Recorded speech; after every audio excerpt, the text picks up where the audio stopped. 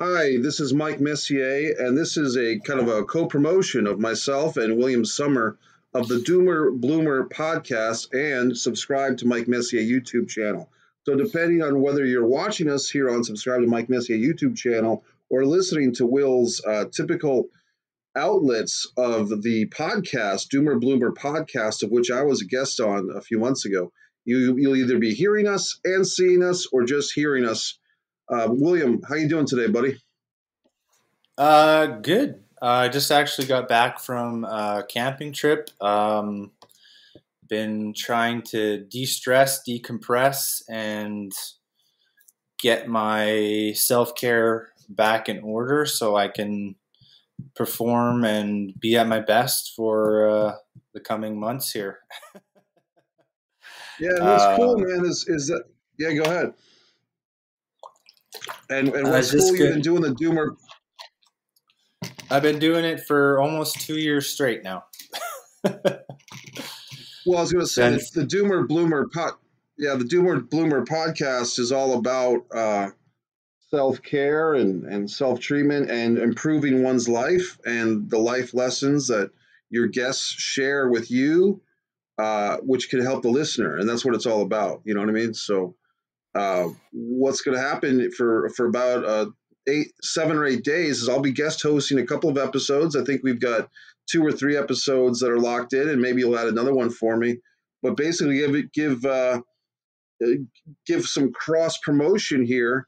Let's let's talk about some of the history of the Doomer Bloomer podcast. What made you want to do that podcast or do a podcast in the first place? What how did it all come to be, uh, Will? Uh, well, the Doomer Bloomers was a brainchild of myself and my friend John Wynn, as he likes to go uh, by on the podcast, and uh, really, it was a way for me to uh, cure my insomnia at first. Uh, because I, I'm a I'm a type of person who has a lot of things on the go all the time, and uh, it's sometimes hard for me to sleep at night because I just have all these ideas running multiple tracks in my brain at the same time, and uh, I like to be busy, but not, you know, you know, not like overrun. Um, so the the podcast was a way right. to, um, you know, get our voice out there and provide a platform for people who don't necessarily have a voice you know, the unstated mission is to uh, talk about the hero's journey and find the doomer bloomers out there uh, who are maybe in a darker or a you know not so great place, uh, but just need a little bit of tools and help and support uh, to get on the other side to becoming a bloomer. Um, and that's the type of uh, audience and the type of listener and the type of people that we're looking for. We're really trying to build a community of people uh, trying to better themselves, better their lives. Uh, you know, whether in entrepreneurship or just you know working a regular job. That's you know that's what it's all about, right? Trying to be, become a better human being at the end of the day. When you the term doomer bloomer, when I did your show, um, it's an interesting term that I, I don't think I really had heard before. And it's spelled Doomer, D O O M E R, and then Bloomer, the traditional Bloomer.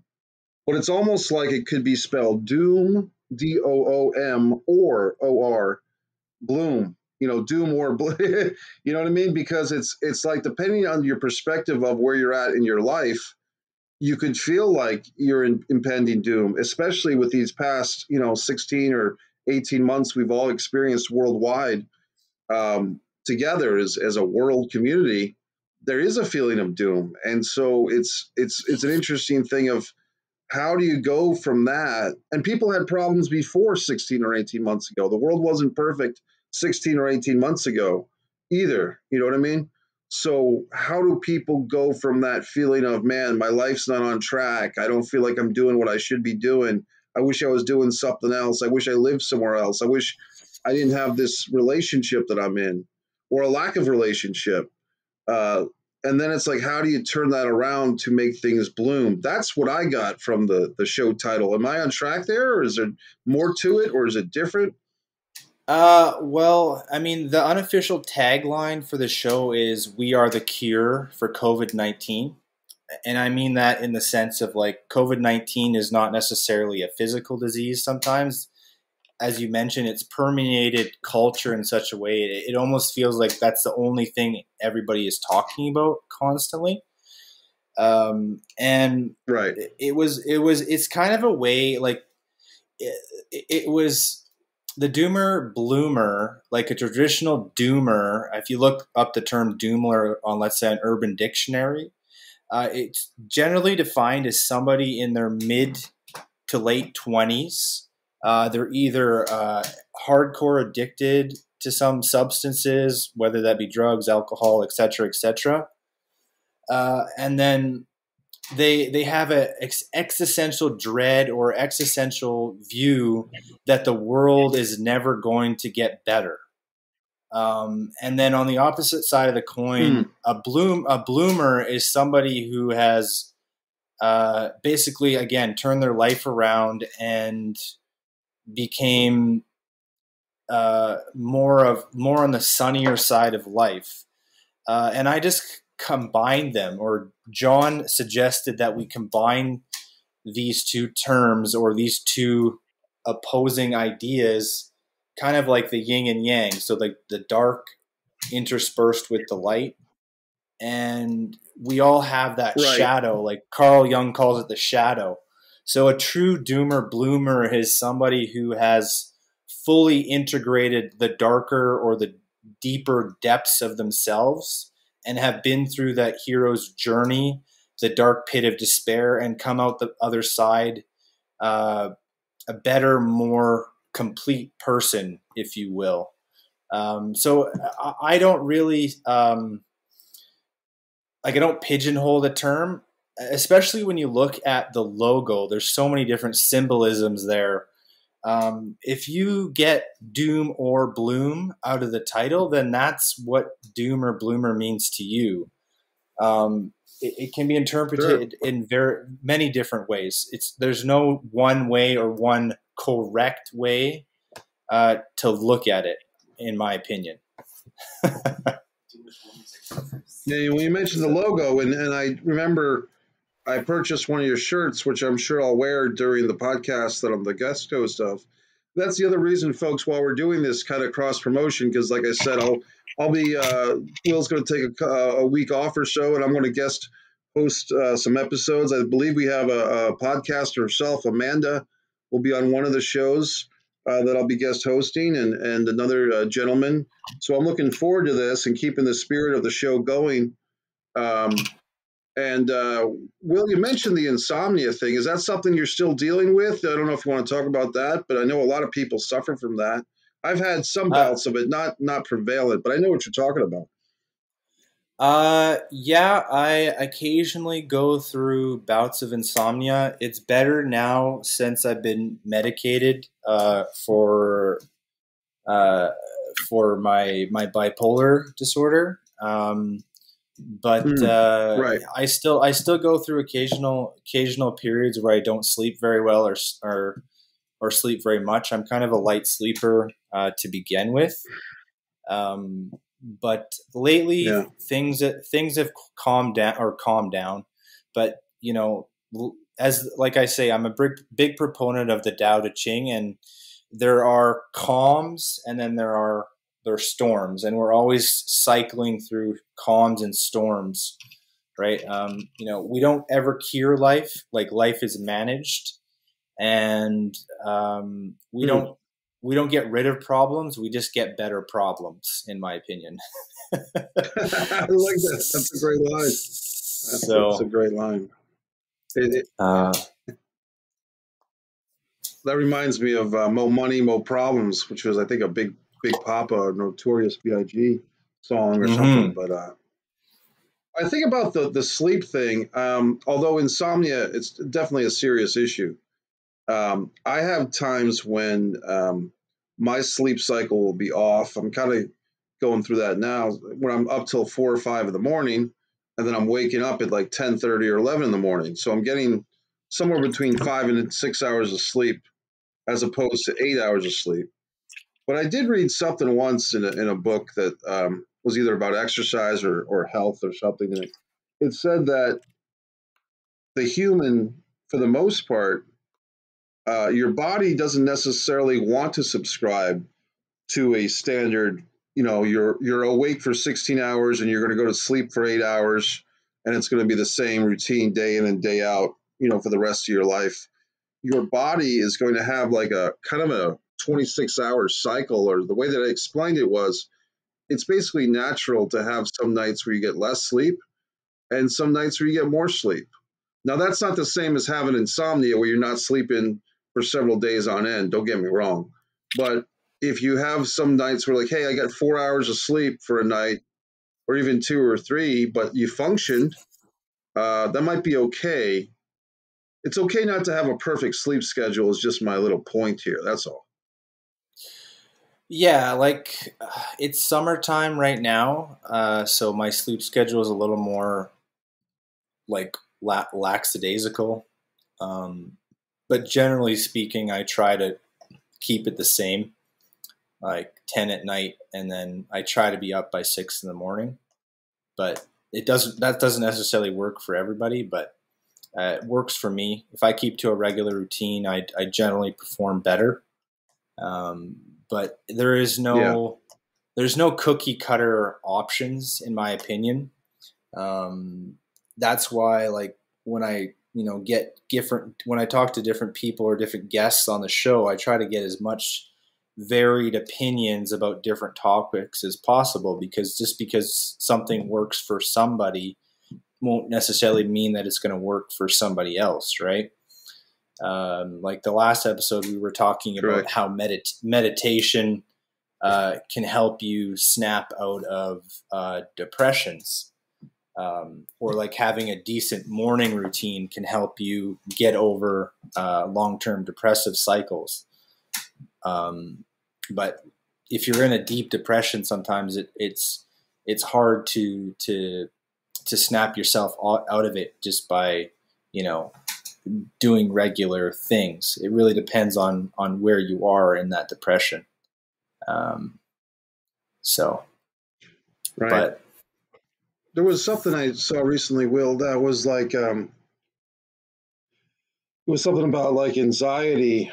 Um, and basically the, the, the statement was you know people feel like they have anxiety and sometimes they go to a doctor and get a pill for anxiety but it's like wait a minute um, maybe you're anxious about something that's wrong in your life for instance if you have a job that you can't stand and you have anxiety sure you can take a pill for the anxiety which might numb the feeling however you still have that job that you can't stand or you're still living right. in a city that you don't like or you've outgrown or you're not making enough money or you're in a poor relationship with a, a spouse or you don't talk to your kids so sometimes society has lent, lent itself to well if you exercise more uh, or maybe you eat less chocolate or you eat more chocolate or if you or if you take this pill then you won't feel your anxiety but if you kind of examine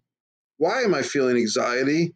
It's because I have a bad relationship with my spouse. I have a bad relationship with my parents, bad relationship with my kids, bad relationship with my boss.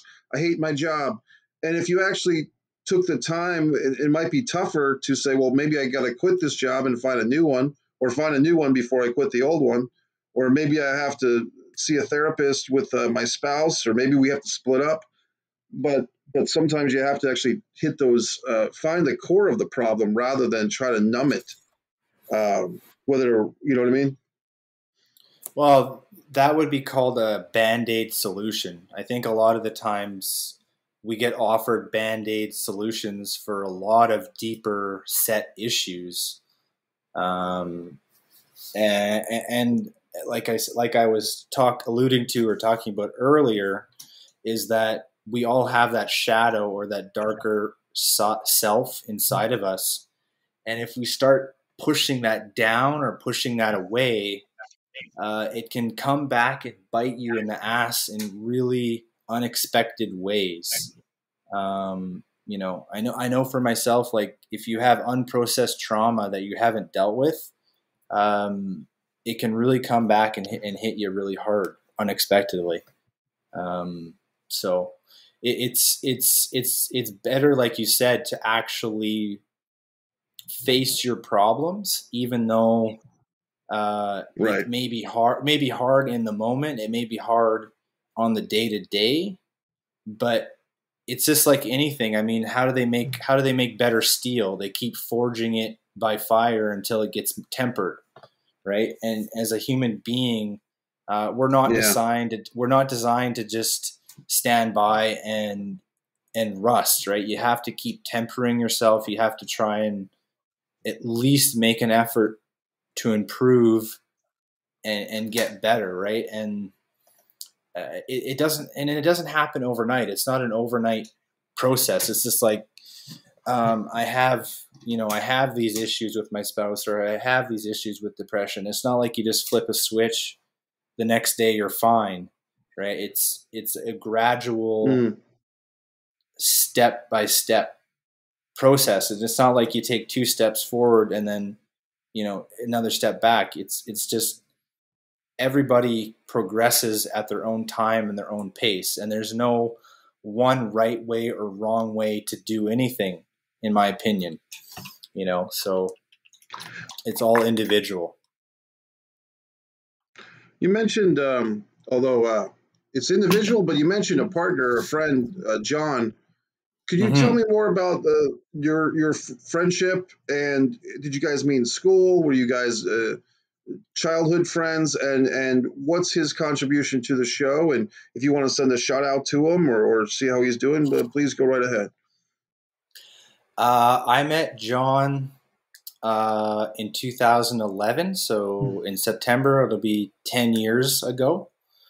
Uh, i met john when i was doing a uh, exchange program in quebec uh, in the other side of canada uh, I was learning French and teaching English. And then he came into our friend group because he was dating uh, one of the girls in the program.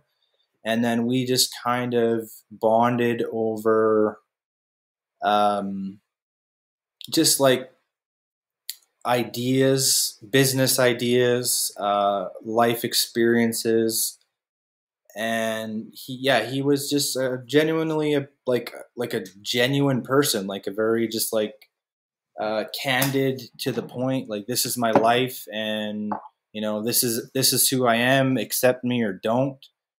Um, he's kind of a no bullshit mm. no bs kind of individual. Um, and we kind of just kept that spark a of a friendship shooter, as they say. Yeah like we just kind of kept that spark of a friendship going. Um, he like I went back and seen him a couple times or at least once in Quebec after I moved away and then he ultimately moved out west to Vancouver around 2015 um, to pursue more more business opportunities out west. Uh, ultimately, he ended up in Edmonton, Alberta, and then I kind of well, I didn't. I wouldn't say like I twisted his arm. He was quite he was quite he was quite um, quite interested in starting a podcast. Uh, and we initially started it just between the two of us, uh, again to kind of just uh, make a commentary on the state of the world at the time, like especially during.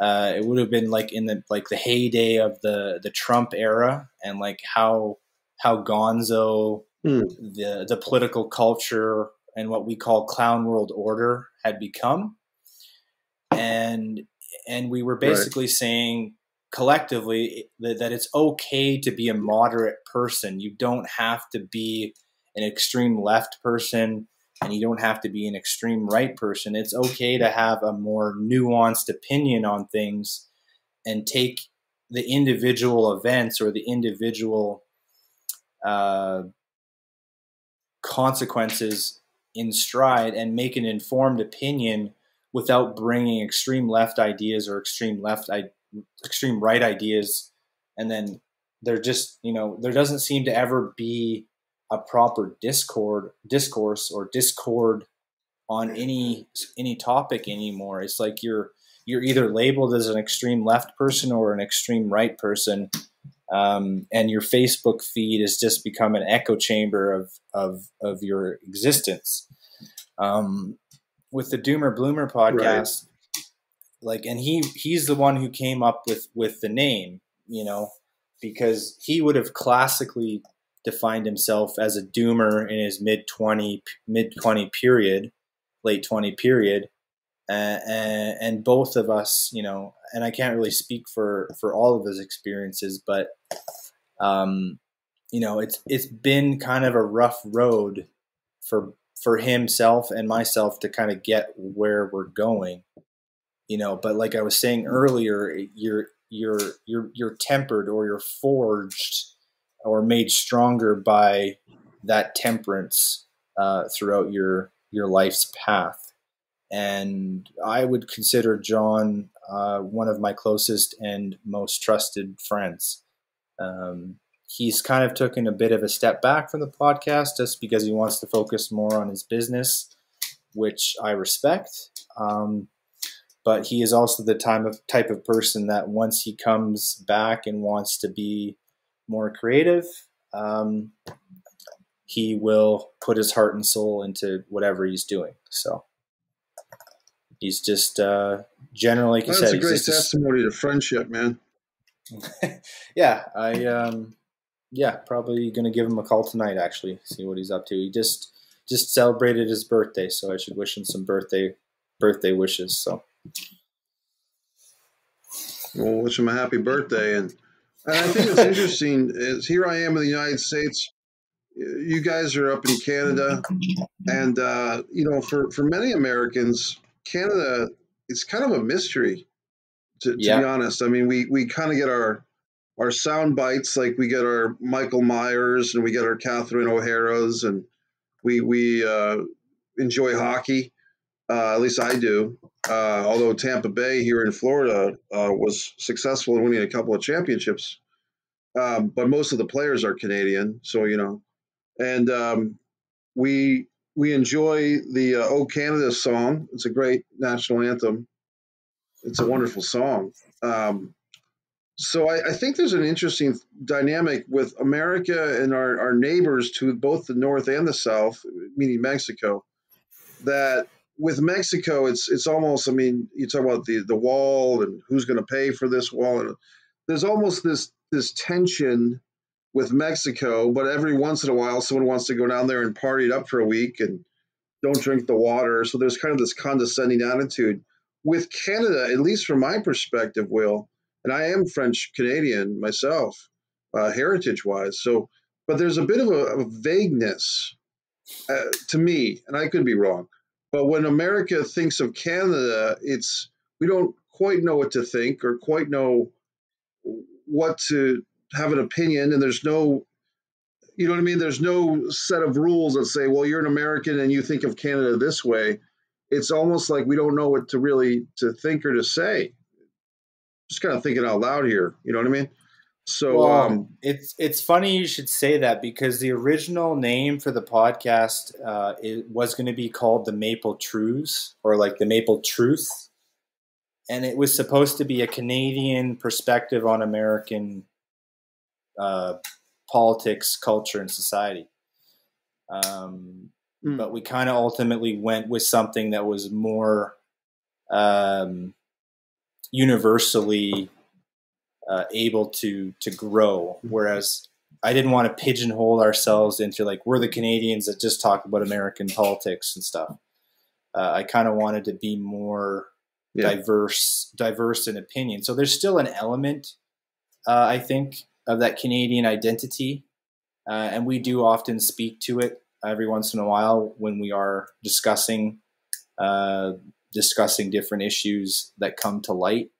Um, but that was that was then this is now and you know i think what we've ultimately created uh, long term is more relatable Um, I think everybody goes through periods of of darker, uh, less vib like vibrational wise, less energy, a deeper, darker energy. It's not to say that uh, it's bad energy. It's just a different energy, and you have to acknowledge it and use it in a different way than you would be it if you're at a higher or a lighter vibrational frequency. You know, they're just energies, but they're equal and opposite to each other. Um, so that's how I kind of view the the dichotomy or the the contrast, if you will, in the long term.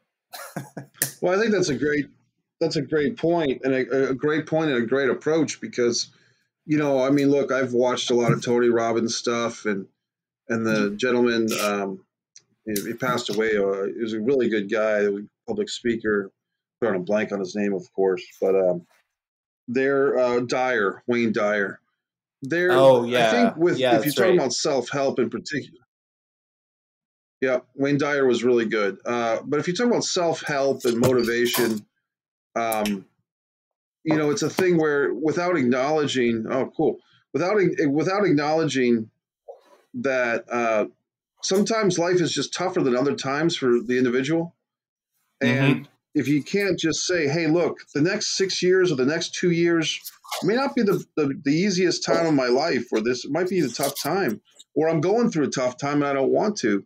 If if person if people don't acknowledge that and tip their hat to it, and just try to put a, a you know, it's just jumping jacks your way out of uh, of a bad mood.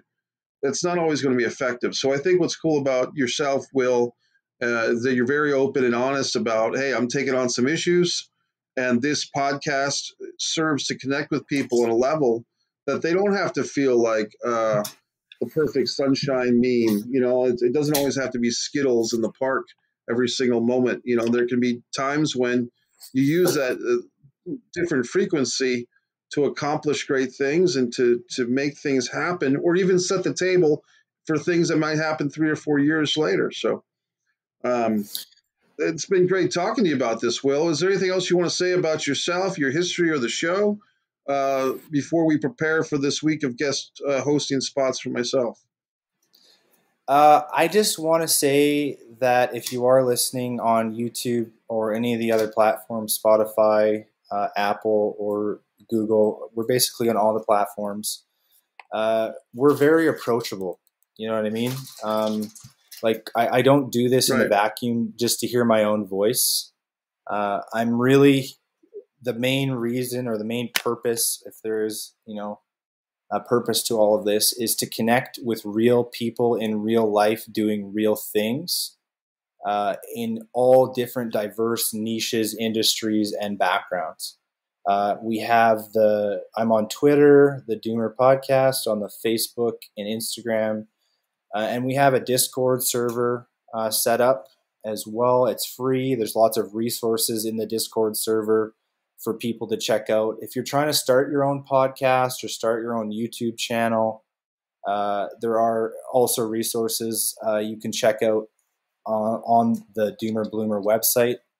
Um, and if yeah, if you're if you're just surfing the internet or surfing the web and you got nothing better to do, just go to www.thedoomerbloomerpodcast.com, all one word, and all of the history of the episodes. We're up to uh, almost yeah. This will be the forty. This will be the forty fifth episode uh, overall in the two years.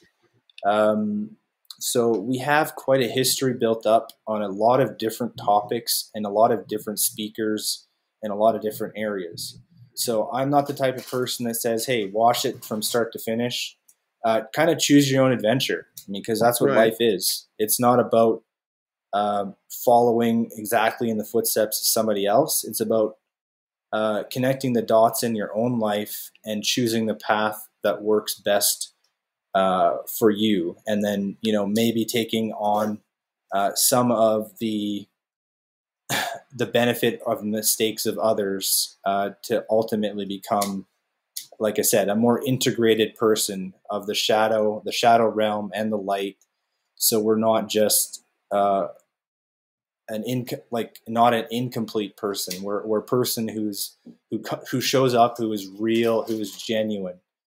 Um, whether you're going through a bad, shitty period or not, um, I'm always I'm always approachable um, and ready to be of service. That's what I really have to say. well, Will, it's been a pleasure talking to you, man. Enjoy your week off. I'll be happy to take these co-hosting uh, or guest spots, guest hosting spots. I'm looking forward to meeting the guests and keeping the momentum going. And of course, you do have that T-shirt store. So if people are intrigued by the design uh, you mentioned, how do they find the T-shirt uh, with the logo on it? I believe the link is uh, Teespring at Doomer Bloomers. I will put a link to it into the description of all the videos, uh, so it'll be like prominent uh, if you know cool. you're you're on the website or on on any of the platforms. it's the first thing you'll be able to see. All right, Will Summer, man, so good to talk to you again, buddy, and uh, thank you for the those that have watched this on subscribe to Mike Messier YouTube channel, those that have listened to it on Doomer Bloomer podcast. Uh, Mike Messier saying thanks for me and Will, and uh, we look forward to having a great couple of uh, guest host podcasts. Thanks, Will. Looking forward to it, buddy. Cheers.